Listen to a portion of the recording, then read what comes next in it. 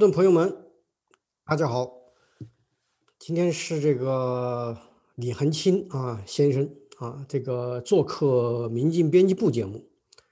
那么先请我们的导播将李恒清先生请进来。李恒清你好，哎，小编你好，听众朋友、观众朋友大家好。李恒清先生呢是这个经济学者啊，经常在我们民进讨论中国经济问题。那么我们今天请他来要谈这个纽交所对中国公司的这个摘牌啊这个事件啊，这个观众朋友们如果关注这种新闻的话呢，应该知道就是说这个纽交所这次对中国公司的摘牌啊啊那是真的一个复杂曲折啊，摘了啊停摘，然后呢再摘。啊，前后三回啊，最后让这个新闻媒体怎么报道都不知道怎么报道了啊！到底他最后 摘还是不摘？那么现在这个摘成了还没有摘成呢，仍然是个问题啊。反正现在是摘了啊，但是后面能不能摘成又成了一个悬念。这里面对于发生了一些什么事儿啊？怎么来解读这样一个复杂的新闻事件啊？我们要请李恒清先生来给大家讨论一下。好了，恒清把话筒交给您。嗯，好，谢谢小平。呃，这个事儿啊，这个事件确实是一个真的是很复杂。我们待会儿再再这个讲一讲这个背景啊。先讲讲这事件本身。一个呢是今年这个第一天，二零二一年的第一天。这个一般情况下，我们想啊，国内呢还都在庆祝新年哈，结果这个纽交所呢就公布了一个新新闻，就是说呢，他根据这个美国总统的这个行政命令的要求，把这个中国移动、中国联通和中国电信这三家。这个中国最大的这个电信服务商呢，从纽交所退市了。这个一出了以后啊，结果这个外界啊一下哗然。然后呢，结果这个事儿呢，我们当然就觉得，哎呀，说怎么这回这个总统令啊，这回是动作这么快？结果呢，到了这个这个三天以后啊，就一月四号，这个纽交所又出人意料的又改变了决定，后来就表示呢，不再推动。不再继续推动这个摘牌的计划了，而且呢说呢允许这三家公司的股票和债券继续在纽交所上进行交易。这个这个事儿呢就匪夷所思了。然后呢我们大家也不知道都发生了些什么哈。结果两天以后，一月六号又传出消息，呃消息是纽交所这个允许中国电信企业在美国交易的决定啊，它引起了相关部门的这个不满。这个是。这个媒体报道出来的，说引起了不满，然后呢，这时候呢，纽交所正在考虑再重新改变立场，把这几个中国的国企，然后把它摘牌，把它赶出那个纽交所。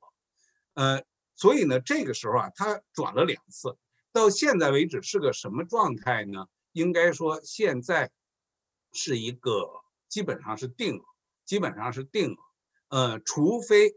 除非呢，这个二呃一月二十号，这个这个拜登入主白宫了以后，撤销创普总统这个这个总统令，除非这个，应该说呢没有什么太大的变局。但是如果说取消了以后会有些什么影响，这个事儿呢还是挺大的。因为呢，如果取消了以后呢，就是这个它的规定呢是从一月十一号，已经呢实际上是过了三天了。现在实际上，纽交所已经停止了交易。就这三大中国电信的公司啊，已经在纽交所就不能再交易了。到十七号就彻底要完全停止。然后你要想交易怎么办呢？你就到 Over the Counter，就是那那个股交呃股票交易市场。但是那个股票交易市场呢，就是它的执行度呢相对低。呃，另外一个呢就是。这个政府的监管，SEC 对它的监管啊，就美国的证监会对它的监管呢，就降低了很多，所以呢，投资呢风险会加大很多。所以面对这个形势呢，现在呢，纽交所，呃，这个这三家公司呢，也就开始呢，像其他的这个在美国呢，现在开始就是怕担心被这个摘牌的公司呢一样，像现在阿里巴巴、腾讯、京东，呃，还有这个叫百度。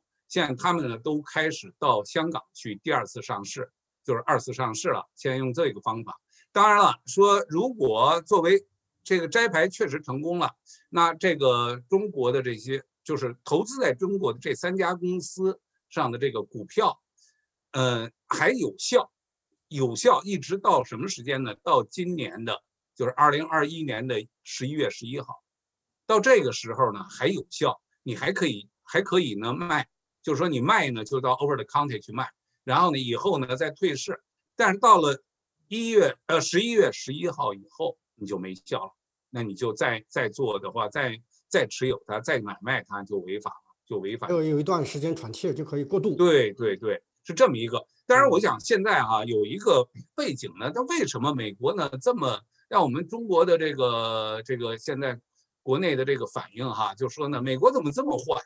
美国怎么这么坏？这个跟我们中国这个较真儿哈，这个怎么打的我们这么这么就是恶毒的去攻击我们？到底是怎么回事儿？这里头啊有一个就是有一个很复杂的一个背景，我觉得呢，这个听众朋友应该应该来听一听。就是一个呢，是在美国啊，是在二零零一年，美国发生了一个非常著名的，就是这个财务造假的案件，就是这个国内翻译成安然，这个英文是 Enron Enron 这个这个公司呢，财务造假，它是怎么回事呢？它当时呢是美国的五大会计师事务所当中的最大，Arthur Anderson，呃，是作为这个 Enron 公司的审计师，这个会计师事务所啊，是给他审计他的这个财务报告。然后呢，同时啊，这个这个阿瑟安德森呢，又是这个 Aaron 公司的一个咨询公司，帮他呢做这个做这个财务上的这个战略分析，给他制定战略政策。财务上到底应该怎么排兵布局啊？怎么减？怎么做你的这个这个财务报告啊？都是 Aaron 自己做，等于他们自己做啊，不是都是阿兹安德森做，等于是阿兹安德森呢自己。做了这个财务报告，又自己来审，结果这下就出问题了。阿兹安德森呢，这个这个系统呢出了问题以后呢，结果就影响到 Enron 就开始了发现了这个问题了以后，Enron 就大规模的作假，大规模的作假。他呢很多的交易呢都是假的，然后都没有，他就在在这个财务上就直接就是添数。结果这样的话呢，使得 Enron 这个公司呢股票呢飞涨，因为它交易量很大，它是做那个能源交易。交易量很大，从名不见经传到变成了一个华尔街的一个追追捧的这投资人追捧的这样的一家公司，结果突然被发现，出现了是什么？是阿瑟安德森这家公司自己审自己的报告，这件事被捅出来了。捅出来了以后，后来就轩然大波，这次引起了 SEC 和美国财政部、美国国会的整体的关注，关。注了以后，结果就开始出现了很多的财务造假的公司，都是上市公司啊，出来了。出来了以后，总共有应该有三十五个这个这个丑闻，三十五个，其中有三十一个是阿瑟安德森做的，还有德勤也做过，呃，KPMG 也做过。所以呢，这个三十一个是阿瑟安德森做的，结果会结果变成什么呢？后来阿斯阿瑟安德森呢，这个五大会计师事务所当中最大。就倒闭了，啊，解散了。但是 Aaron 呢，后来也下市了。这个总经、这个总裁和他的董事会主席都坐牢了，都判刑了。但是经过这件事情了以后啊，当时呢，这个美国呢，整个啊，处于哀鸿遍野。因为什么？因为财务造假这件事情啊，在华尔街就感觉到非常的、非常的恐怖。为什么呢？因为这个你的一个资本市场最重要的一个基础是什么呀？是财务透明。你的这个，你所有的汇报的出来的这个财务的盈利情况，公司盈利情况，反映的是什么？反映的是你的你的这个公司的经营。那在这之前呢，因为有这个财务造假这件事情呢，这个这个美国的整个的股民啊，对投资失去了信心，对华尔街的这个投资失去了信心，所以这个是一个最大的伤害。但是在这个时候啊，美国政府啊确实是了不起。我觉得一个呢是政府厉害，另外一个呢是公民社会厉害。结果呢，他们很快的在一年之内啊，就出了一个法案，叫萨宾奥斯利法案。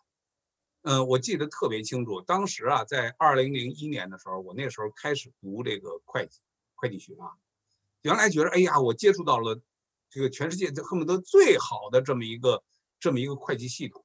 结果后来，阿瑟安德森这件这个丑闻，安让这个丑闻出来了以后，我一下又落到了谷底。结果很快，萨宾奥斯利法案出来了。这个法案出来了以后，他的要求是什么？它的要求就是说，所有的财务造假，它的目标就是要彻底根绝，彻底根绝。他用了各种各样的办法，其中一条就是说呢，他建立了一个在 SEC 底下，他建立了一个监察机构，就是叫上市公司会计制度呃会计会呃上市公司会计监察委员会。这个呢，实际上是不是一个政府机构？它实际上是一个民间机构，但是它要求所有的快这个上市公司的财务审计报告的原始的这个这个材料，它只要它要求审看，它要求审审查，你必须要提供。结果呢，这件事情出来了以后啊，你知道，从二零零二年萨宾奥斯利法案开始实行以来，到现在十八年，将近二十年。从此以后，美国本土公司、美国本土美国人自己的这些公司，财务造假几乎绝迹，几乎绝迹了。这个法也这么厉害啊？嗯，对，因为什么？他的要求非常严格呀。嗯，他的要求是说什么呀？他说你这个财务报告、审计报告啊，原来就是会计师事务所签字，然后呢，你的 CFO 签字，顶多是你 CFO 签字，有的实际上是 Controller，就是总会计师签字，都不是 CFO 签字，就 OK 了。就 pass 了，然后就拿到 SEC 报，然后就就公开了。可是呢，萨宾奥斯利法案出来了以后不一样了。他说，要求呢所有的这个审计报告的最终版本，必须要由公司的 president 和董事会的 chairman 签字，而且负个人责任。嗯，就一旦出现问题了以后，不是赔钱，绝对不是赔钱。过去 settlement 就是给。给钱用钱解决问题，现在不行了。现在你要就是准备就坐牢了，就是按照这个就是经济犯罪是走 criminal court，是整个就要去坐牢了。所以从此以后，大家原来啊说做财务报报告的时候说这个只要能够，因为什么？你要做了假了以后啊，他那个 CEO 也好，President 也好，这个这个 Chairman 也好，重要的是什么？跟他们的个人的。收益有关。一旦说我的 performance 好，我盈利多少，然后我能够拿很多的钱啊，拿很多的奖金，所以呢，他们呢愿意铤而走险。可是现在不一样了，现在说你要铤而走险，你要做做了这个造假的事情，你就要进监狱了。这些美国的这些这些 CEO 们、President 这个这个 Chairman 们，他们就不愿意了，说我我为了把这个股民的利益。因为股民啊，你 performance 好了，这个股价涨嘛，我给股民挣了好多钱，我自己也挣了钱。可是为了这件事，最后我造假，我要进监狱去，那我可不干。结果确实起到了作用，而且这个什么呀？刚才我说到的这个上市公司会计监管委员会啊，发挥了巨大的作用。它确实是每一季度每一季度都在严格的审审查这个这个。审计报告的原始原始的这个，对这个监管委员会也就是根据这个萨宾法案建立起来的，没错嗯，所以呢，这个呢是非常有用的。我们因为我就在这个行当里头嘛，所以呢非常了解这个事情。哎，但是呢无独有偶啊，这个后来呢，这个外国公司，外国公司，哎，他就说呢有各种各样的理由，说呢我不能够把原始的凭证交给你。最最过分的就是什么呀？就是中国公司。中国公司现在啊，现在这个所有的外国公司，除了中国公司，现在呢，全部都是把这个财务报告都必须要审计的这个财务报告都要交给美国的 SEC，因为你在美国上市嘛，都要交给他去审查。但是只有中国公司，中国公司呢是拒绝交，理由是什么呢？是因为中国证监会说这个牵扯到国家安全，所以呢，他不能够把这个。审计报告的原始的这个这个用过的这些资料交给这个 SEC 审查，其中我们理解过哈，为什么会说牵扯到国家安全？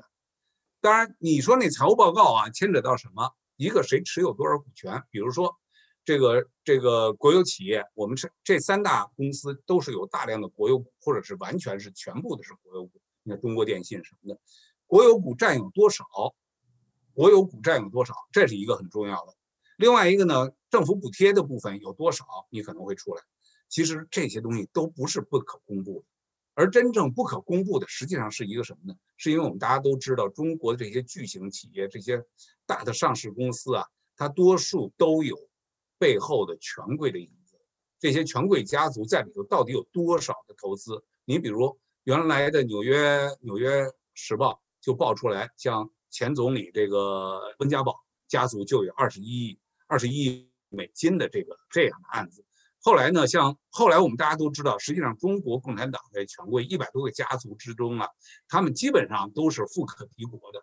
那那些钱都藏在哪儿呢？很大一部分就在股市、债市里头，很多都已经转移到美国或者欧洲的这些股市当中，然后藏在里头。但是你如果要是报告的时候啊，那原始凭证我们有一条最基本的一条，就是谁是你的股票持有者，主要的大股东的股票持有者。在一定比例，比如百分之一以上的，那这些股票的持有者一报，那得是真名啊！你不能像温家宝，温家宝说那个总理的妈妈九十多岁了，还最后有九千多万，九千多万的这个呃这个那个时候就是那个那个哪儿哪个平安保险的这个股，平安保险的这个股股票，最后呢，别人说啊说那个是我拿他的身份证这个代持的，让温家宝九十多岁的母亲替他代持的，你这个怎么可能呢？对吧？您九十多岁了，您这个找别人代持去，借别人的身份证，你怎么敢借这个这个共和国总理的身这个母亲的身份证呢？这都说不过去。但是呢，这个呢是牵扯到中国政府的政治安全的一个考量，所以呢，他们是拒绝交出这些东西的。这个呢是一个非常特殊的。到现在来说，美国在美国上市的这些公司，外国公司除了中国的这二百一十七家，其他都是交都交这些东西。都交，但是呢，这个欧洲有个别公司，呃，好像英国有四个，顶多了啊，绝大多数都得交了。但是现在这个下来了以后，现在下来了以后呢，这个这个状况呢，就让美国的投资人呢感到恐慌，尤其是在过去几年当中，美国有一个黑叫浑水公司，浑水公司就发现了好几个这个中国的在美上市的公司呢财务造假的事情。这件事情出来，其中最典型的就有一个纸业公司，这个呢后来最后被浑水公司的他那个他那个 CEO 叫 Jason，最后呢把他对外公布，说这家公司呢在美国在这个华尔街上市，华尔街上市了以后呢，这个他当时呢说他的流水有多少，他一天呢要进出多少车，要拉出去多少货物，结果呢这家这个浑水公司呢就发现呢好像他们没有那么多的这个。这个真正的货物流量，最后他们怎么办？就在这家公司的总部门前装上了几个摄像头，在他租住的居民房子里头对着这这家公司就照，结果照了多长时间？照了一个多礼拜，就发现总共就有一辆车卡车出入这家这家公司，就一辆，而且呢没有拉任何货物。后来他就发现这实际上是造假，最后呢他就揭露出来，后来并且做空。所以呢，像浑水公司针对这个中国在美上市公司做空，后来做空了十六家，追踪九家已经退市了。其中后来有一个非常著名的，就是瑞幸咖啡。瑞幸咖啡十啊，百分之五十以上是是做假这个。对，他就后来就退退下来了。那当然没到百分之五十。现在美国啊，十六家嘛，那发现九家嘛，九家退市嘛。哦，对，九家他发现了以后，九家证明是问题有问题。最后已经退市了，他他是做空了十六家，嗯，所以在这种情况下，现在啊是这么一个这么一个背景情况下，后来呢，这个参议院的这个 Marco Rubio 参议员就推动，最后是就是通过了一个法案，就叫做《外国公司问责法》，就是在去年二零二零年通过的，他就要求所有的在美上市的公司，外国公司一定要像美国公司一样接受这个。叫上市公司会计会计审查委员会的监督，所以呢要大家一视同仁，所以这一下呢就变了这个形势啊，这就变了，所以这个是一个大形势。但是呢，这是一个啊，另外一个呢信息呢需要需要澄清的，就是在一九九九年的时候，美国国会通过了一个法案，要求国防部要编制一份啊在美国运营的中国军工企业的名单。这是另外一个信息哈，就是说这个呢，名单出来了以后要报告给国会。根据这个名单，这个名单呢，它的全部啊，它要包括那些由中国人民解放军拥有或控制的、提供商业服务、制造、生产和出口的公司。这个二十年来，这是一九九九年的一个法案，这二十年来啊，这一直有。这个每年呢，这个这个五角大楼啊，都会向这个这个国会啊报告这么一个名单。根据这个法律啊，美国总统可以在任何时候都可以实行实施这个制裁，其中呢，就是最重的时候呢，是可能能够把限制名单上的所有的这个财产能够扣留。但是呢，过去哈就一直没有做，一直没有做过。所以呢，到了这个今年啊，呃，到了去年，这我老说去年，现在已经二零二一啊，二零二零年的六月份，美国总统特朗普啊就做了一个决定，他是将华为和这个海康威视等二十多二十多家中国顶尖的企业列为中国军方拥有或控制，这是二十家。这个呢是作为呢，这个是美国新的。这金融制裁呢，奠定了基础。然后呢，这个时候啊，这个应这个两，这个国会这个两党的要求啊，这五角大楼就公布了这些中国的这个企业的这个名单。这个名单呢，这个我发给发给那个导播了，小平可以可以拿出来是吧？对，这个二十家名单，那个导播，你给把那个照片可以贴出来。对对对，我大概念一下啊，它一个呢是中国移动，这个浪潮集团，中国中车。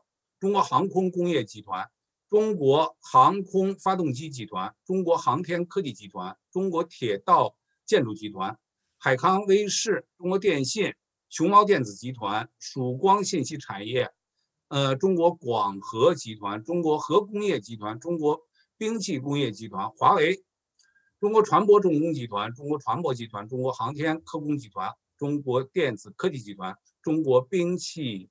装备集团，这是在二十家，这是六月份的时候公布了。公布了以后啊，在这个时候啊，这个这个参众两院啊，这个都有议员，像众议院的这个呃，这个参议院的议员呢，就包括这个查克舒默。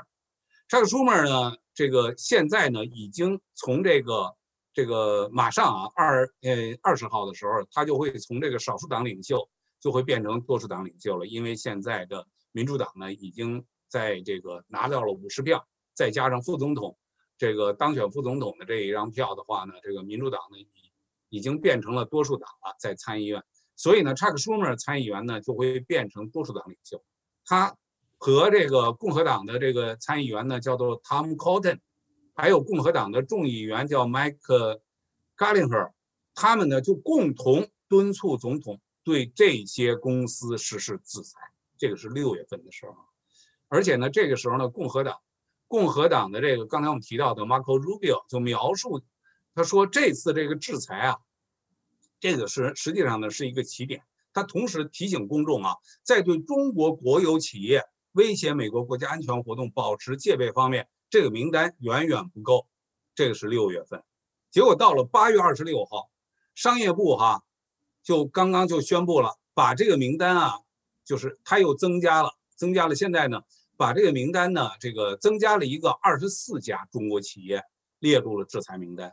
这二十四家中国企业全是在南海修建岛礁，帮助中国军方在南海那个七个岛礁的建设当中发挥作用。二十四家现在呢也列入了这个制裁名单。到了八月二十八号，美国国防部已经决定啊，叫包括在中国交通建设银行呃建建设集团有限公司。等在内的十一家中国企业列入中国军方拥有或控制的公司清单，这个时候又加进去了什么呀？加进了中国三峡集团、中化集团，这是二呃八月二十八号。所以呢，这段时间啊，就是已经使得原来的这个制裁名单，除了那二十四家修岛的，现在呢已经增加到了三十一家，就是这个军方的这个定的三十一家大大企业的名单，然后到了。去年的十一月十二号，去年的十一月十二，十一月大家记着，十一月三号是美国大选总统选举，选举以后没呃出不出一个月，呃不出也刚刚一周啊，不到十天，这个川普总统呢就宣布了一项行政命令，他叫禁止美国投资者对中国军方拥有和控制的企业进行投资，这个就是我们前头提到的，说他那个摘牌的行动。依靠的就是这个这个禁止令，这个禁止令什么时候生效呢？是一月十一号，一月十一号生效。这个我后来呢，我查了一下啊，这个这个禁制令呢，实际上呢，它叫这个美国总统的禁制令一万，嗯，叫幺三九五九，幺三九五九这个禁制令，它呢是说这个对所有的中国军队的中国解放军和共产党这个国家控制的这个军这个军事方面的这个相关的这些企业呢，全部要从这个这个美国的投资的这个这个范围内啊，这个视线当中呢，要把它拿下。所以呢，这个呢是整个的一个大背景。正是在这个背景上，才有了今年的元月一号，这个纽交所要求把中国三大电信运营商呢把它摘牌。所以这个是刚才我们讲整个一个大背景。后来小平刚才你提到那个，哎，中间呢在四号又变了，然后六号又变了。后来说这是为什么？这个是为什么？说这个啊，这个因为说呢，这个。当时啊，这个为什么会摘牌？我们前头讲了，但是呢，到这个公布了以后哈，这个时候呢，这个纽交所啊，纽交所呢，实际上呢，他们有些犹豫，因为我们大家都知道，在这个美国公美国的这个国内政治啊，现在有些摇摆，因为新旧政府交替的这段时间里头呢，可能会有一些政策上的摇摆，所以呢，纽交所呢也是在有这方面的考虑。所以他们就想呢，就提出了一个一个理由。这个呢，因为后来最后媒体都没办法报了。这个理由呢，实际上是我刚刚得到的这个叫做中美中美，这个是国会的一个委员会，叫中美贸易和安全这个监察委员会，他呢发的一个报告。他实际上就讲啊，说在这个一月四号的时候哈，那个时候呢，这个纽交所之所以提出说。不要，就是不再考虑这个摘牌的这件事情啊，实际上是基于一个，就是说呢，怎么认定这个军方控制，为军方服务这件事情啊，怎么认定？因为有一些他认为呢，说有一些公司说军方呢，这个就是实质上呢，看着不像是被控制，虽然是军方出了钱，但不像被控制，所以呢，怎么去认定？所以出现了模糊地带，这是他们说。这个不再考虑的一个重要的一个理由，结果呢，这个财政部后来很快就把这件事情澄清了。现在定下定下来了，这个定义是什么呢？是所有的军方拥有的，只要是你军方投资的这个这个母体公司，就一概要摘牌。这是第一。第二一个，军方投资，然后呢，它的这个分公司，比如说这个华为，华为是军方有军方投资。然后呢，它的分公司，它呢可能衍生出来一些底下的一些小公司。那这个呢，如果持有实质性持有，就是百分之三十到五十甚至以上的持有这个股份，而且有运作权、决策权的这样的公司，也要一并摘牌。所以这个已经定下来。那现在这时候，OK，那这三家公司原则上呢就没有没有这个没有这个可能性。说在避免说这个不要不要再摘牌，只要这个政府令还在，那他们就应该被摘牌。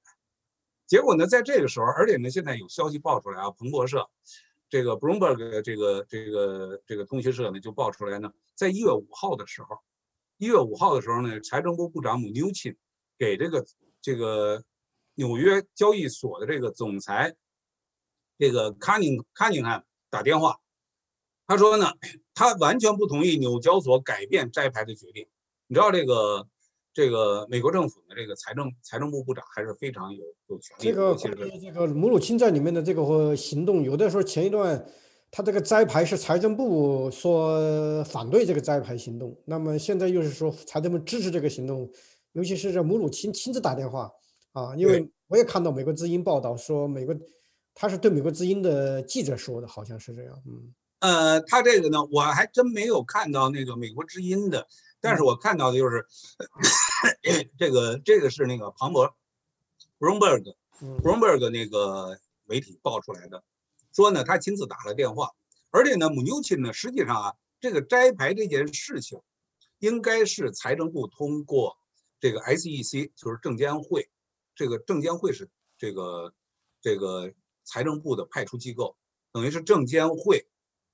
然后他们呢通知纽交所是要做这件事儿了，因为是十一月十一月十二号吧，十三号啊，他们已经通过了这个法案，这个这个政府令已经下来了，所以呢，一月一月十呃七号到十一号吧，就应该要要实施了，就是准备期到一月十一号就正式要生效，所以你在这之前你要没有行动，那是肯定不行的，所以纽交所才有了他一月一号把他准备摘牌的这件事情通过。通过了以后，但实际上还没有真正的行动，真正行动是一月七号才开始。所以呢，他当时呢，在五号的时候啊，在四号他犹豫了，然后到五号的时候呢，姆纽钦打了电话。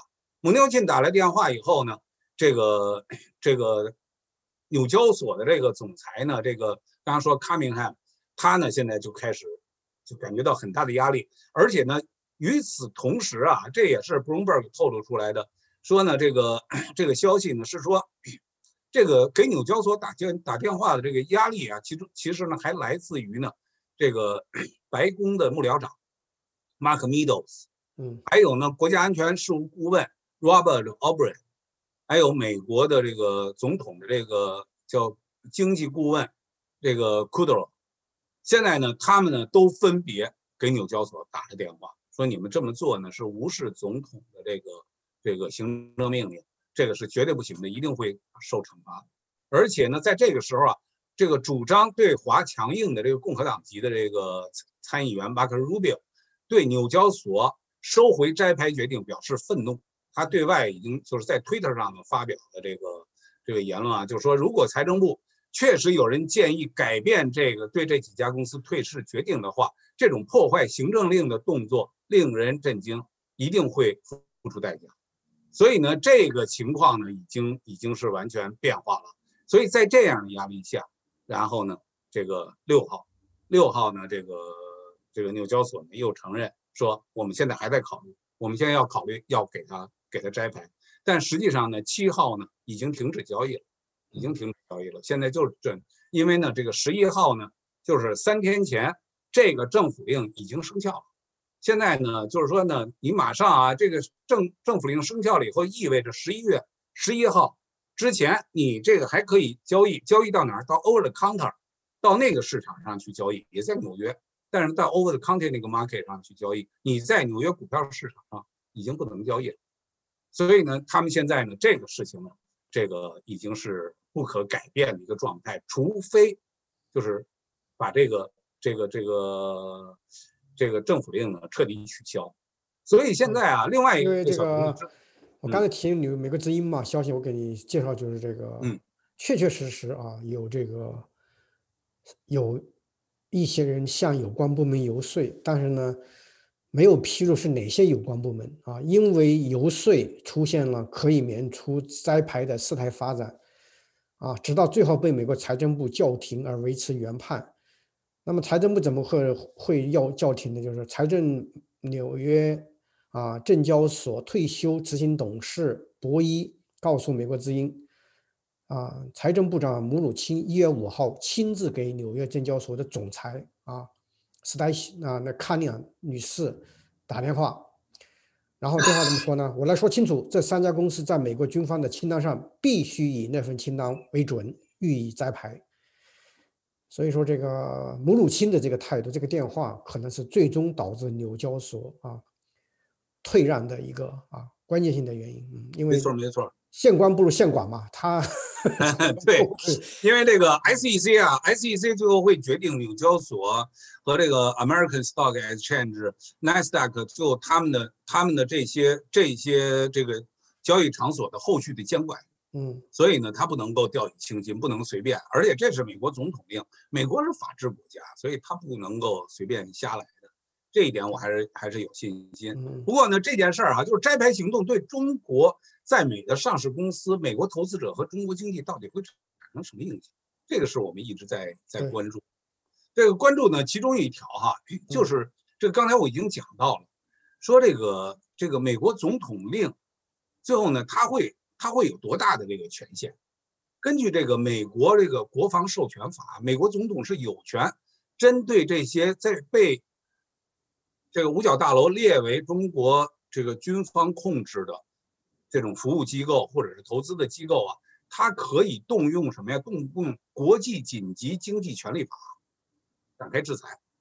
一个是让你，它制裁包括什么呢？就是第一，它要不让这些啊这个投资公司啊对你进行投资。这些投资公司包括美国的这些投资大的投资公司、基金会，包括养老金的基金会，像我们我们这个基金会，那像我们都是不敢不敢去投资的，或者其他的这些机构。不能够买这些中国公司的股票，这些啊，这个因为这些公司呢，早就被这个国防部啊就盯上了，这些那是不能去去买它的股票，不能去交易的。这个呢是在这个法案当中的这个禁令呢，任何的交易，任何的交易哈，它叫做它禁止美国人在被认定是中国企业呃军事企业的这个六十天内买卖这些这些企业的股票。所以呢，这一块呢，据说现在呢，我刚才那个看到国会的那个报告当中啊，受到影响的企业有多少呢？有这个现在呢几十家，几十家，现在总共造成的市值在四千四百亿到五千亿美元之间，影响这么大的市值。而中国啊，现在啊，总共在美国的投资公司有二百一十七家，现在在这个上上市的啊，不叫投资公司，上市的。这个公司呢有二百一十七家，现在的总的这个市值是二点二万亿美金，所以现在应该说四分之一，四分之一少一点会直接受到影响，就是被这个政府令啊会直接受到影响。三大这个这个公司呢，这个电信公司呢只是一个开始，所以你想，如果大家都摘牌了，那这个问题就就很难说了，这个问题就很难说了。所以呢，我想啊，这个是一个非常非常重要的一件事情，这个对中国的经济呢会有一个很大的一个影响。当然，中国呢政府呢这个国务院发呃外交部发言人这个华春莹也也是出来说说这个是针对这个中国公司的这个政治歧视，然后呢是针对这个中国的这个军军工企业的一个政治歧视。嗯，这样的话呢，这种用这种双重标准来做呢，实际上是影响了美国的自由市场的这个形象，批评美国啊。但我想呢，这个应该说不会是，不会是对这个起到任何的一个作用。当然了，那这些企业呢，如果摘了牌，那他们呢，只能呢说到这个深圳、到上海、到香港去上市，更像现在的。做这个二次上市的，像现在这个阿里巴巴、腾讯，这个刚才我们提到的百度和这个京东，现在他们都在未雨绸缪，都已经开始，呃，在这个在这个香港上市，就是以防万一他们也会被这个勒令摘牌。现在基本上这样。那现在呢，就是你对外开放，你希望用外资来发展中国经济的这个形式呢？就越来越越难了，所以这可能也印证了习主席这个高瞻远瞩啊，他现在准备内循环，就要用这个这个中国百姓的钱来支撑这些这个这些企业，包括这些军方投资的这些企业，这个支撑他们。所以呢，他估计呢会在后续呢会出台一些新的政策，能够让这些公司呢能够更多的从中国的股票市场当中呢来这个。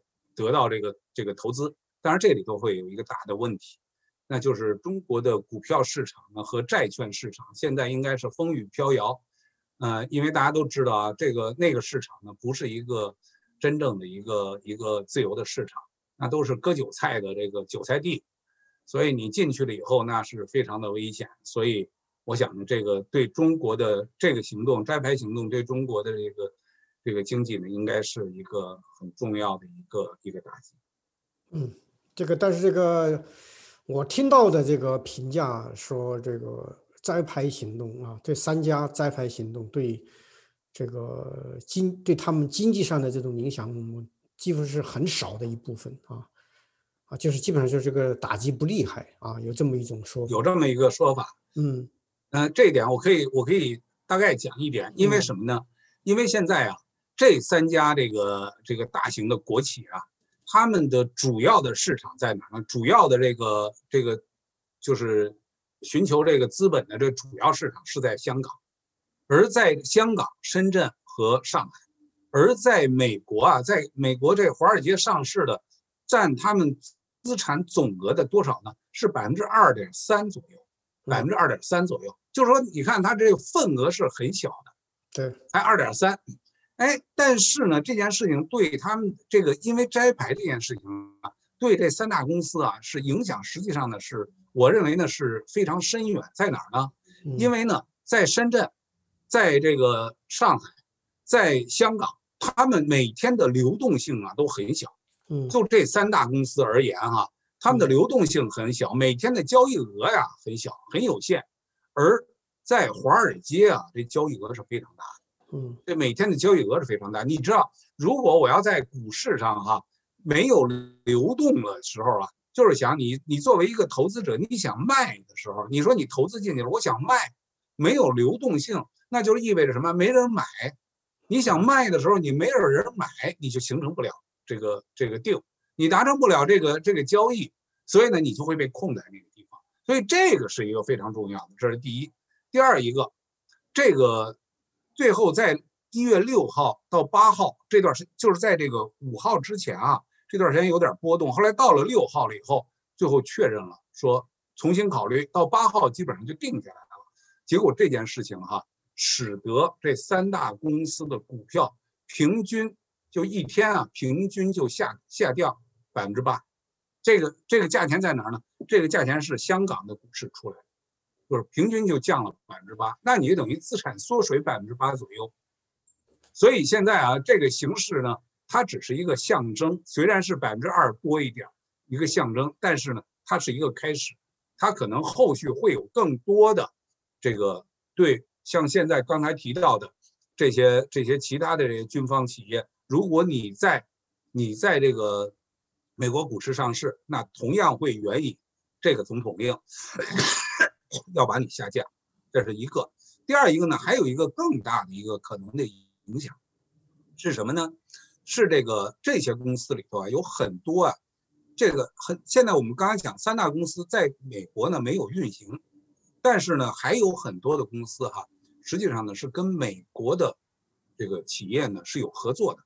你比如。这个这个南方的一个，我看啊，那个那个公司叫什么？就是做那个大大飞机九，就是九幺九那个大飞机 C 九幺九那个大飞机的那个公司。这个公司呢，它呢就实际上呢是在跟这个跟这个美国的福特公司，他们呢还有波音公司都是有合作的，都是有合作的。这个公司呢再往前走，再往前走就意味着下一步。就是这种合作都属都属于不合法，都属于违法的，违反总统令的。那如果这样的话，那 C 九幺九后续的这个升级换代，包括维修，因为老说嘛，C 九幺九实际上只有这个大飞机国产化呢，只有这个机壳是国产化的，其他的东西呢，里头的东西呢，几乎都不是国产化的，都还是要从这个。这个外国呢去进口，其中主要的进口的进口地呢就在这个美国，所以呢后续的这种合作呢也会被禁止。那你想，那这个从这个大飞机，中国这个所谓大飞机梦呢，那也就也就无从谈起了。当然，说这个习主席已经说了，我们要我们要自力更生，自己自己要把这些卡脖子的这些这些难关啊都要攻攻破。所以那就是只能说到那时候你自力更生才解决问题。不被这个西方西方这个卡住脖子，所以但是呢，这件事情总统令这个往前推进的话，会是影响会是非常的深远。是谈它的深远意义，嗯，不是当下的这个经济的数字，嗯，没错。哦，那个我刚才说的那个是这个，它叫做中航中航工业中国行业工业总公司和那个通用电气合作，通用电气。然后给那个 C 九幺九客机这个生产设备，它其中的设很多的设备包括发动机，它这些设备呢，对，任何一个制裁后面可能都涉及到间接制裁美国公司，名义上叫中国公司，实际上最后间接都是制裁美国。对对对，但是这样的话呢，他下了这个政府令了，总统令了以后，那你这些公司呢都会，我们都要都要查嘛，都是都 compliance，你这 compliance 过不去的话，那不敢经营的，就像前一段时间那个。那个华呃，针对那个华为和中兴，供应那个供应芯片的时候，我记得九月十五号嘛，我那时候我到滨滨州去，我的朋友那个公司就是做硬件的，做这个做这个芯片的，然后呢，他们就说嘛，他说他们现在日夜不停的在干呢，在干到什么程度？说这个这个他是负责检质量检验的，他说我们根本根本检不过来。他说：“为什么？”他说：“那个华为和中兴的那个代表啊，就住在边上，每天都来，都来说你你只要生产出来，不用检验了，检验检验不好，那个次品我们都要，次品都要。后来说呢，他们担心什么？就是担心九月十五号一到那天，因为这个川普总统的总统令，到那一天就咔嗒就停了，所以他们真的到那一天啪就停了，就是说，这就是呃九月十五号十二点夜里十二点。”一下就停了，然后在这之前生产都出多少全拿走，为什么呢？刚刚说的次品，次品你都拿走，为什么呢？因为说那个次品拿回去了以后，回去稍微修修一修，修一修呢，就比国内现在国产的还是要好很多，就是它的功能还是好很多。所以你想啊，我讲这个中国的这个自我，中国人很聪明，但是呢，这个自主开发像这种这种路呢，应该是还是有一个。很长的一个时间，何况芯片又不是像原子弹，这个爆了以后呢，就我就算有了原子弹。这个芯片你要不断的更新换代，一代一代的不断的往前走的话，靠这个这个这个国家力量这种方式，我们看应该说是这应该通的，所以不知道了。但是我想这个未来可能会有一些一有一些问题。这个正好你说到这个芯片啊，实际上跟华尔街也有关系。华尔街因为制裁这三家公司下市的话，啊，那里头的股民都是美国投资者，对不对啊？对啊，等于是人家说你没有对中国制裁有限，你很多的制裁是美国的这个投资者。然后芯片呢也是说你制裁了半天，你实际上你打击的是美国的芯片产业。这个啊不，这点啊，小平啊，这点得。要分两种情况，嗯，第一种情况是我刚才说的那个叫外国公司问责法，嗯，外国公司问责法这件事情啊，实际上呢是是不是针对现在就是针对中国中国上在美国上市的二百一十七家这个企业，但是呢这件事情呢是不是会伤害美国人美国投资者的利益呢？我认为不是，为什么呢？因为真正伤害美国投资者的利益啊。是那些造假的公司，你比如瑞幸咖啡，你比如那个什么那个江西的那个纸业公司，这些公司啊，它为什么能够在这儿大行其道呢？实际上是过去啊，过去一直有一个叫做中国概念，在过去二十年当中，因为那时候叫中国速度、中国概念，所以在华尔街啊一直在追捧，说只要有中国挂上中国这两个字，在华尔街那股票都好卖着。这个上市上市上市公司啊，这个投资银行啊，那个股票可好卖了。所以呢，他们呢，因为这个做投资银行的人啊，他不在乎你这个到最后二级市场是是什么，他只要一级市场上他能赚钱，他赚的是上市 IPO 的那个钱。所以有时候啊，在华尔街有些不良商人啊，呃，现在现在也好多都是不良商人，但是这些不良投资者他找的是什么？投资热点。所以在那个时候是什么？中国概念是一个重要的投资的一个一个概念。所以只要带着中国就好卖。所以他那个时候啊，就是萝卜快了不洗泥，只要你给我 IPO，我就帮你给你推到美国市场上去。结果就是什么呀？就是有很多的不现实，就是不是一个很好的公司呢。最后呢，不经过审核或者经过粗糙的审核，就推到了美国市场。而这些公司哈。最后到了美国市场了以后，它的表现又不好，表现不好怎么办？为了能够保持自己的业绩，就开始财务造假，才会出现了像什么瑞星啊，像那个纸业公司啊这种，那个九家被做空了以后，最后都退市的公司，像这样的公司，他们实际上是侵犯了消费者的利益，因为他造假了以后，你会发现他的股票实际上是什么？是要过坐那个过山车的。好不容易爬到顶峰了，咵叽就下来了。到那时候，你知道这股股市要砸下来的时候啊，那时候没人接盘，那一下就砸到底了，砸到底了。那你想，投资者，投资者原来把这钱辛辛苦苦的自己的这个挣的钱，最后投资到股市上，最后就被洗劫了。这一点跟中国的股市、跟上证股市和这个这个这个深圳股市实际上是一样的，他们这些不良公司到美国上市了以后，就是要割美国的韭菜，所以呢，用这个外国公司问责法其实不是这个政治歧视，而是针对的这些公司当中的作假来来清理这个市场，而真的好的公司，你确实是这个真正的经营业绩也很好。确实，经济这个又是守法又合规，那美国股市一样欢迎你。当然，第二个，我刚说这是第一个，第二一个是什么？是军方。所有的军方企业，这是五角大楼已经非常明确的，它危及美国的安全，美国的国家安全。那从这个角度来说，那美国老百姓是不是应该把自己的余钱或者自己的投资投资到这些？有可能或者正在威胁美国国家安全的公司呢？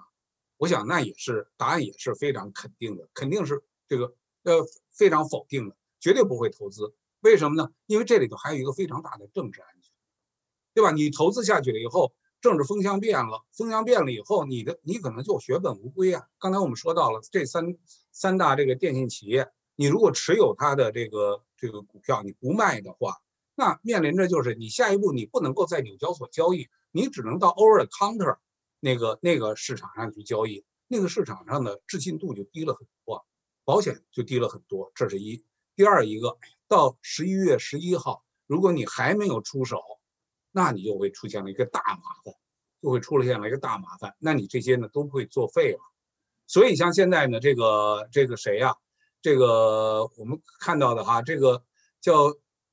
这个很多的这个经济跟经济相关的这些国会议员啊，或者政府官员啊，都在提醒，像现在的各大投资公司，嗯，像这个像我们这些退休基金，像很多的大学的这个这个基金会，都要从这些地方要拿走。说如果你再投资中国概念性的这种这种投资的话，那是非常危险的。而且小平，你注意没注意啊？最近的这个股市的这个股指啊，股指当中原来的这个投资的这个 index，投资在这个指数上的这些这些公司，现在都把这个这个军方的这个三十一家的都在开始剔除，都在剔除，其中包括什么 Russell 啊，这个 Standard and Poor 就是标准普尔啊，然后道琼斯啊，这个这些公司，这个 MSCI 啊，这些大的股票。指数投资公司现在把他们都剔除了，把他们的那个成分啊都剔除了，剔除的具体操作就是直接就卖出了，所以你就想啊，这个实际上呢，这个工这个动作呢会，就是会是一个滚动的，除非，除非这个 Joe Biden 二十号上台了以后，他直接说我现在要改变，要把这个 Trump 总统的这个这幺三九五九啊这个这个禁令取消，除非这个如果不取消。那根本不可能，但是你想，他取消这个、这个、这个也是对这个拜登总统呢，这个、这个也是会非常的、非常大的一个一个成本，因为什么？因为现在他这个前一段时间的这个在竞选当中暴露出来的一些一些问题，包括家族的一些问题，那到这个时候呢，如果说他这个继续的这个中美关系在这个紧张的这个市场上，他突然改变了。那我想呢，这个，这个对他的这个政治形象啊、家族形象啊和后续的一些具体的这个继续的工作都会有影响。所以从这个角度来说呢，我想至少一段时间内，这个不应该有太大的改变。这个一段时间很可能会持续到中期选举两年，嗯，两年。如果中期选举 以后就不好说了。对，中期选举以后，他要是。这个民主党还能够拿住这个，拿住这个参众两院，嗯，那这个那他就敢做了，嗯，但是在没有拿住这个参众两院的情况下，我相信，这个他应该他应该说是会会，在中美关系这个问题上，应该会谨小慎微，他应该会延续这个川普总统的这个基本的这个战略方针。对，因为这个如果他没有人去做，他不做，这个争议不大。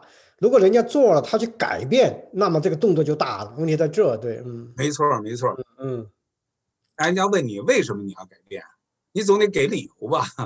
这理由你不能说，因为 Hunter Hunter 在那儿有有这个从那儿拿了这个十十几亿、几十亿，然后你不能说这话吧？呃，所以呢，那就成一把子，对，这就是这个东西操作难度在这儿，对，嗯，对。所以，见我的感基本的感觉呢，就是这个这个呢，应该说是会会影响深远。这个，所以呢，这回叫一波三折，也是表现出来美国政界美国政界在对待中国这个烫手的山芋这个政策上，对对中国这个政策上呢，它可能有不同的这个摇摆这个这个方向。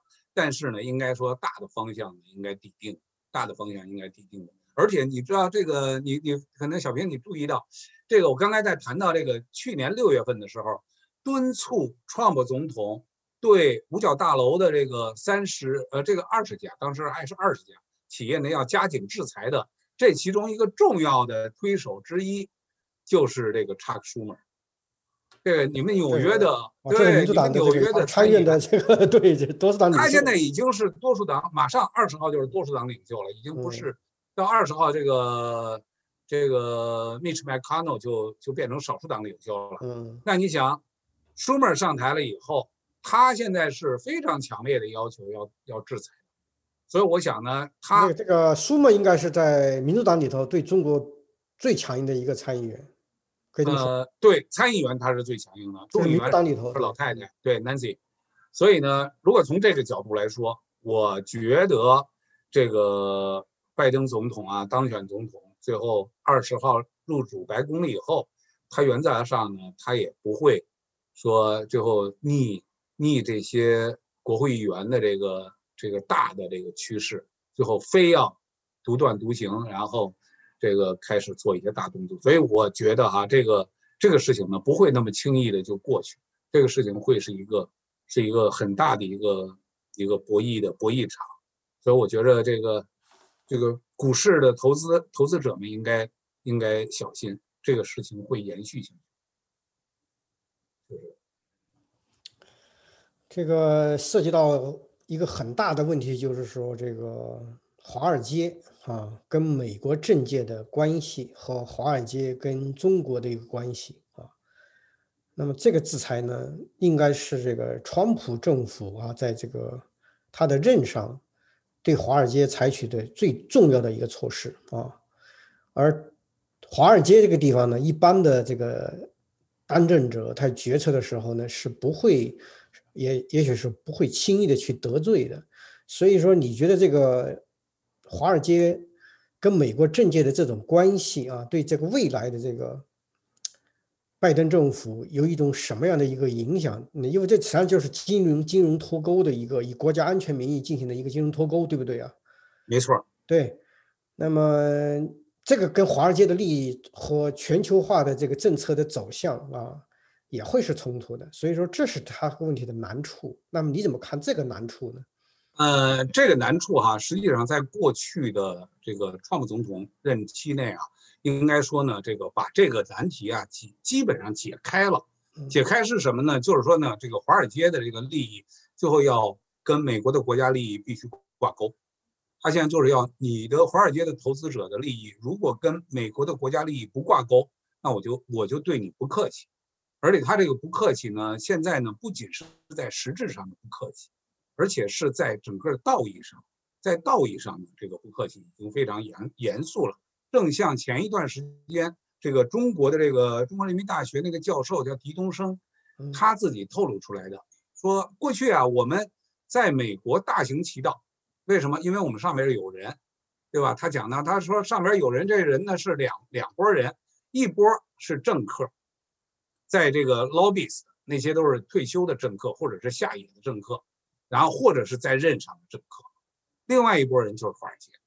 所以他们那个时候认认定说，华尔街这个地方呢，我们已经搞定了。因为他说中国没有在世界上没有美元搞不定的事儿，那我们中国最会行贿，最会做这个行贿的事。我们最有美元，对，我们最有美元，我们最可以，因为什么？政府可以一个一纸一纸命令就可以把那个所有外汇储备都拿出来砸在行贿上，对吧？他都可以做，你哪个国家做得了？做不了。所以从这个角度来说，他说呢，他最有力量。但是他们后来发现呢，为什么这四年在川普总统任期这四年当中，最后做不行了呢？就是因为华尔街被川普总统给搞搞黄了。他并不是说经济搞黄了，股指一直在涨啊，经济没搞黄啊。但是搞黄了是什么？搞黄了是他们那种从中间自肥、自肥的这种做法。所以你看啊，我就是这个有一个有一个过去曾经有这么一个例子，那个王岐山在这个中美贸易战开打以后，王岐山出来过一次，就是见那个什么十几二十个这个这个 CEO 和 President，这个都是华尔街这帮人主要的大佬们。结果呢，王岐山呢后来据知情人说，王岐山那天穿着睡衣出来。他当时表示了两个：第一，这些大佬们啊，各大公司没有派一个穿着这个睡衣去见这些人，王岐山是心里根本瞧不上这些人的，应该是对啊，不，他表示他愤怒，他愤怒啊，他为什么？因为他原来啊，他当国务院副总理的时候啊，他那个时候他是中国的这个金融的这个总条把子，所以他到华尔街来，那这些人都是要巴结他，因为什么？因为要拿中国的 IPO。只要拿到中国 IPO 有百分之六左右的收益，那你想，马云的一个蚂蚁金服上市三百四十五亿，三百四呃三百四十五亿的这个 IPO，那你想这么大的，如果要是百分之六的话，你想多少？二十多亿啊，二十多亿的这个收益，所以他们特别希望能够拿到。你如果拿不到啊，不三千多亿啊，对不起，三千多亿，如果拿不到，拿不到的话，你就出现了一个大的问题。所以他们那个时候削尖脑袋要跟王岐山保持联系，哎，结果这回王岐山说，国家副主席对外说要见你们这些这些大佬们，中国的 CEO，结果人家都不派 CEO 去，也不派 President 去，都派副的，都是 Vice President，是吧？这个 Deputy 去了，所以呢，报告给王岐山，王岐山非常愤怒，然后就穿着睡衣出来见他，对吧？你想啊，这个事儿就表现这是情侣戏。这是晴雨季，大家就看到了，说这个事儿跟他保持关系，这个没用。为什么？跟他保持关系不如跟 Trump 政府保持好关系才对。因为什么？因为国家安全现在更重于我们赚钱，我们发财。所以现在这件事情放到了一个第一日程，这是 Trump 总统做的一个非常重要的一件事情。然后呢，这里头也有也有出现不同的，你比如那个 J.P. Morgan Chase。J.P. Morgan Chase，他的这个这个 CEO，这个 President 叫 J. Jamie Jamie Dimon，像他们，他们现在呢，是因为跟王岐山这样的中共的顶尖的这个这个经济官员们个人的关系特别好，所以呢，在前一段时间这个中美贸易战以后，中国呢说我开放市场，我开放原来不让你们。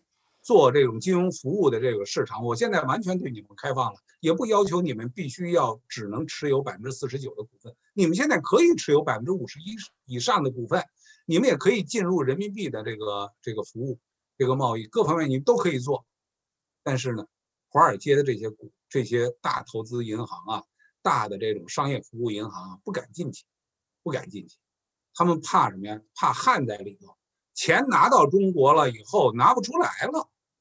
您这个最后想移出来，你要过中国边境，你这外汇管理这一块你出不去怎么办？所以这事儿变成一个大事儿。哎，应该建一个在华尔街和中国政府建一个 PayPal 类似的第三子第三 个托管理。所以这个事儿实际上是一个很大的一个一个问题啊。哎，可是 J.P. Morgan Chase 就敢进去，我的朋友就被派回去了嗯，就被派回去了。他们就就说，其实，在那儿我们在那儿没业务可做，我们根本不做业务。为什么不做业务？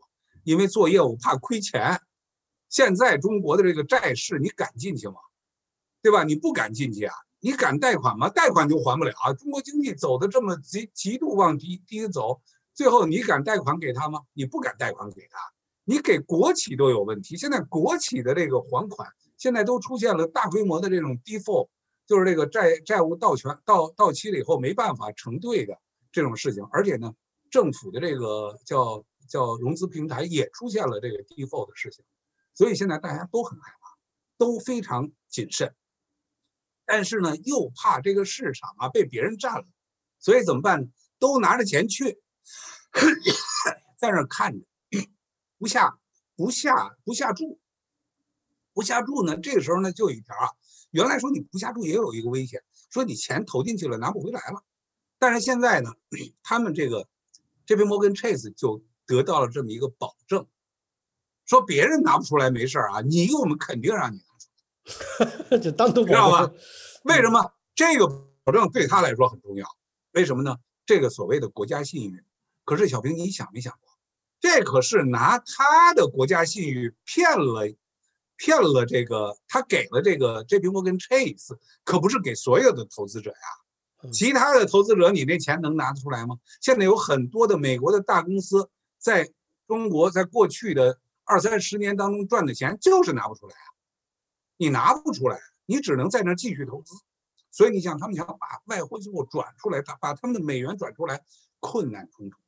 所以何况现在很多的中国的民企、民营企业家，现在都看到了马云，看到这一个一个的被制裁的、被被折腾的这些这些企业，就他们感觉到岌岌可危，希望把他们财产转移到境外，那一个个全部被焊死。全部被焊死，你怎么可能让他转出来？地下钱庄给百分之七到十的这个这个服务费，他们都敢下，都敢给，但是呢，钱出不来。所以你就可以想象啊，这是因为根据现在中国的国情，中国现在财政吃紧，外汇吃紧，就所谓六不稳嘛。所以最后结论就是政权不稳。那现在在这种情况下，大家感觉到岌岌可危，都想赶紧说找一个避风港。安全的、安全的脱险，但是不会让你出来。所以我觉得呢，这一点啊，中美未来的金融的这个博弈啊，这个会持续，会持续下去，不会是真的这个随着新政府上台了以后呢，就就真的就解决了什么？因为现在呢，中国中国政府是非常希望是这样。所以像前两天我看那个复旦的张维为教授在那讲。讲中美关系的未来的这个机会在哪？其中就是讲这个创这个 Trump 的下台和拜登的上台，给中国和美国的这个未来的发展提供了一个巨大的变数。大家都在期待这个拜登总统做出正确的选择，把中美关系变成美国最重要的一个，因为这个关系，因为是两个超级经经济体之间呢，只有合作。没有对抗才有机会，所以你想，这就是现在中国的一个一个官方的希希望吧。但是我想，这个希望不太那么容易实现。刚刚我们讲了，这个 Trump，Trump 虽然是不在了，但是 Trump，Trump 的奠定下来的这些这些东西呢，还会继续的继续的在这儿在这儿走。何况现在在对中国的人权啊，这个对美国的国家安全构成的威胁啊这些问题上，已经是在。参众两院的国会的民主党、共和党两党当中都达到了共识，所以我想呢，这个真正改变呢不容易，或者是几乎是不可能。嗯，所以你看好这次纽交所的这个股东公司摘牌，最大可能是摘成了。啊，对，肯定是摘成了。我现在看是肯定是摘成了，因为现在不，现在不是说肯定是摘成了，现在是摘成了。现在是摘成了，就是怕，因为他已经来回反复了几次嘛。他反复了两次，但是呢，现在我刚才我刚才说这个，我看的这个是昨天收到的这个国会国会这个中美贸易和安全这个监察委员会啊，我看到他们的这个报告，他们报告上专门强调了这个，就是这个是一个一个正常的。他那个中间反复呢，可能被被媒体解读了，解读呢不一定准确。他实际上呢，这个。纽交所的态度是说，就是刚才我在讲的，在那个军方企业当中的那个界定和军方企，它是两个，一个是军方企业本身，第二一个是军方的那些的 subsidiary，就是他那些子公司，他投资的子公司如何界定上有模糊地带，所以呢，纽交所呢提出来质疑，然后说那我们界定的权利是在谁呢？是在国防部，不是在纽交所，对？为啥这？对呀。嗯，一个是国防部，另外是财政部。财政部最后说你你最后就是后来他们不澄清了？财政部澄清是百分之三十到五十以上的必须要必须要就是就是一样的。你如果投资一个百分之一的，然后你又在具体操作上又不控制了，那你没事儿，你投资吧，你可以在我们这上市。但如果不是你超过了百分之三十，有的还超过百分之五十，那你就必须得拿掉。所以他现在是这样，所以我觉得这个这个应该是这个三大公司应该摘牌已经定了，这没这已经停止交易了。现在不是说已经就是停止交易了，所以现在没有没有什么可说的。我今年十一号十一十一月，如果你没有。啊，在你没有采取措施，你等于是你这个就砸在这儿了，等于是。对你那钱就没了。嗯，那不会的了。现在这多数是机构投资者，个人投资者呢，这个应该很快就就逃了。嗯，那机构投资者可能会再选一个好价钱啊，然后呢，因为投资比较大，嗯，对，选个好价钱，所以应该问题不大。我觉得这个再出现变数的可能性，这个应该很小，除非就是拜登总统当选总统，拜登。说我把这个川普总统这个总统令把它取消，嗯，如果是这样，那当然那就那就没没得说了。但是这个成本，我想这个对对当选总统拜登也是一个很大的成本。他如果这么做，肯定会被参众两院的民主共和两党的主体质质询的，所以他不敢冒这个风险，他不敢冒。这个下个问题就是这个撤退路线的问题啊。他从纽交所摘牌之后，很多你刚才说跑到香港去二次上市。对。那么我们也知道，在香港这个地方正在发生这个啊很大的一个变化。如果是在国安法以前啊，那个香港也是一个自由的一个啊金融的中心啊。那么跑到香港这个二次上市之后呢，你觉得会有什么样一种后果呢？美国会不会？啊，鉴于香港的情况，继续去追杀在香港啊购买这个啊有军方有背景的公司的股票呢？这种情况呢？呃，是这样。针对这三家公司，刚才我们已经说了，这三家公司呢，实际上在美国的这个这个它占的这个份额呀，只在它的这个公司的资产当中，在百分之平均在百分之二点三左右。对，而且呢，他们具体的具体的这个。持牌的形式啊，叫 ADR，ADR 呢并不是真的这个股票，它是一个叫做股票交易一个权利权限，所以呢，多数呢都是这个机构投资者在做，所以他们现在呢是采取的办法呢，就是用香港啊，因为他们的主体在香港上市，他们用香港的跟在美国的这个纽交所的这个上市的这个这个 ADR 呢进行互换，比如我这边呢这个一股换你那边八股。换你这边八股，你赔钱了，反正你最好至少安全，你就你就退出来了。在纽交所就没有了，然后呢，就就到香港去继续继续上市。那这个时候呢，香港上市了以后呢，因为确实像小平你说的，这个股票市场啊，一个非常重要的呃非常重要两个因素，第一个是要有自由，如果没有自由，说你这个你赚了钱了，或者是你你这个你做这个叫做买空卖空。我们股票市场必须要有买空卖空。对他这个来个恶意做空，再来个国家安全理由让你有问题。对，你说这恶意做空，什么叫善意做空啊？嗯，对吧？你要说这个小平，你说这个二零一五年的时候，那时候中国股市这个崩盘，从六千点最后降到呃这个两千多点，那个时候，对吧？他们说说是因为什么？是因为。有境内境外的敌对势力恶意做空中国股市，就造成这个股票崩盘，是不是这样？其实完全不是，因为什么？做空买空卖空就是股票的股票市场的一个最基本的一个形式，没有买空卖空，就不可能把那些垃圾洗干净。正是因为那些垃圾股的存在，所以才给买空卖空提供了机会。而买空卖空的过程，就是把垃圾股彻底洗干净的一个过程，所以是非常正常的。但是呢，中国呢不允许。那所以呢，我刚才讲，它第一个前提是什么？就是一个要有自由的环境。自由的环境就是不能够说我做买空卖空的做股票交易，结果呢，你这个一看到政府这个出现了股市危机了，政府就派公安部副部长直接进入这个这个交易所，然后谁卖空就抓起来，把这个 主要的持有者的那个基金会的头儿全给抓起来。抓起来说：“你必须得给我买回来。”这就是二零一五年发生的呀，必须给我买回来。不仅抓你，而且你把你的所有钱给我投回去，必须必须买回来。而且我允许你什么时候卖，你才能卖；我不允许你卖，你不许卖。你如果是这么一个环境，那怎么做投资啊？对吧？大家这事情存在了，确实对，这就是二零一五年就这么发生的，就这么发生的。所以你想，香港很快也就变成这样。现在是抓异议人士啊，现在好几十个异议人士都给抓在监狱里头。那用新的国安法，你原来讲的一国两制、港人治港，保持资本主义制度不变五十年不变，您刚过了二十三年你就给改了，对吧？谁能相信你？政府说话不算数吗？谁能相信你？不能相信你吗？所以这是第一个。第二一个，那你想还需要什么？需要法治，需要法治，需要在法律的渠道下，这个这个这个环境下呢进行交易。因为你每一个交易是什么？每一个交易都是一个合同，我跟你最后有一个 deal，我这个 deal 是买卖双方进行交易，然后你这边一个是强盗，对吧？另外一个呢是老百姓。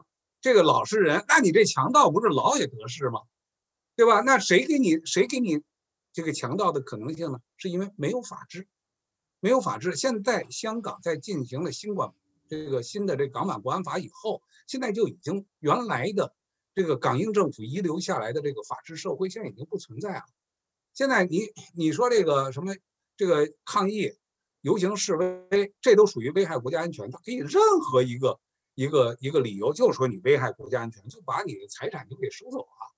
那你想在这个地方谁还敢去投资？现在目前没有大规模的这个大规模的这个这个这个股市砸，其中一个重要的一个原因，是因为中国大量的公司投资的内陆大量的公司进入了香港的股市，进入了香港的债市进行投资。为什么这样做？这个中国政府现在乐得看到这个事情，因为他们要把香港的股市拖住。实际上，原来的香港的第一资本大量外逃了，在过去这个这个几个月当中啊，大量资本外逃。另外，香港的大量的金融业的从业人员大量的逃，大量的外逃。其中最大的接盘侠就是新加坡，新加坡、香港，啊不，新加坡、台湾，这个马来西亚、日本。都接收了不少，所以呢，你想啊，一个是人员走了，另外一个资产走了，那他现在呢是允许部分的国有企业这个进入这个香港的股市。实际上，这个事情中共是中共政权冒了一个很大的风险。为什么呢？这些进去的股市的这些人啊，你别看说是好多是国企，国企是人管的，最后你看吧，这些国企。这些老总有多少个不是赖小民呢？对吧？没准个个都是赖小民，那情妇比赖小民的还多，私生子比他还多，那需要钱呐，需要钱。最后怎么办？这回得了机会了，咵叽把这钱拿到这个香港股市，支撑香港股市，使得香港股市不会大量的滑坡。哎，把钱放在那儿了，下回他有权利可以调动这个投资的时候，你会发现，说那时候卷款潜逃。到境外去养养情妇、养养私生子的不会在少数，这是咱们咱们这个未来的会看到的，肯定不远的将来就会看到这个现实。嗯，结构就摆在这儿，他现在是要这些国企去投资，就是这样。你否则的话，他为什么不让说马云到那儿去投资啊？对吧？你为什么不让王健林去啊？王健林要给他给他个机会，他疯了一样，把他所有钱全都弄到香港股市，第二天他就带着他儿子、他老婆就走了。对吧？绝对不行！你必须给我把在中国你那些建建房的、开发房地产那些贷款给我还完喽，然后把你那个欠的所有的账给我弄干净，弄干净也不能让你走。你过去发的财，现在都得让你吐出来。所以这就是什么？为什么民营企业不让你做这件事儿啊？它就是这个原因。如果要是给他们机会，让他们真的把他们的资产全都变成这个投资到这个通过。叫什么沪港沪港通也好，深港通也好，然后最后投资到这个香港去，你看着吧，那香港的股市就一下就火起来了。但是火起来也是什么呀？也是昙花一现。为什么？刚我们讲了两两个基础没有了，一个是自由没有了，一个是法治没有了，就是昙花一现。这些人出来不是为了真正把香港彻底繁荣起来，而是要什么呀？洗钱，把他们的财产能够洗出中国。所以中中中国政府也很聪明，他不让你出来，他让国企去，他放心国企，或者一个是放心国企，另外呢，国企当中很多的人是权贵啊，是他们的儿子啊，他们的女婿啊、女儿啊，都是这样的人，他们觉着放心，实际上呢，也是给他们提供了一个洗钱、洗他们自己的机会。所以我觉得呢，这一块呢，我我一点都不看好这个用他们去了以后又怎么样。嗯，其实呢，没有什么，没有什么，撤到香港等于撤到中国大陆差不多了。嗯，对，现在就是这样的。嗯，而且他也不在乎，他现在已经不在乎了。只要你香港不是不是我能够管得了的，那我就宁可把你给砸倒、砸砸烂。所以他现在就这个态度。好啊，这个我们看看观众有没有举手提问的，嗯，好讨论的。那个恒庆先生的这个高论啊，已经差不多了啊，剩下一点点时间啊，我们还有几分钟，看看有没有举手提问，嗯。啊，好像没有。那么我们已经差不多了。那么最后呢，我们让恒庆先生做一个一分钟的结尾。嗯，好，谢谢。嗯，呃，我觉得呢，通过这个这个三大三大中国三大电信公司啊摘牌这件事情，应该我们可以可以感觉到啊，这个中美这个这个在金融领域的这个博弈哈，实际上呢是硝烟正酣，不是说硝烟逐渐平息，应该说是硝烟正酣。所以呢，在未来呢，我们应该可以有。可以看到的未来呢，应该说这个博弈呢还会继续下去，可能呢形势会有一些变化，但是呢这个博弈的这个实质呢不会有太多的改变，所以我觉得呢投资呢在这个时候呢要非常谨慎，要要要非常谨慎。刚才我讲的那个两点，这个资本市场的这个这个基础，如果没有这个基础的市场，实际上是一个非常危险度非常高的，那就是危城不入，我们确实不能够去去冒这个险。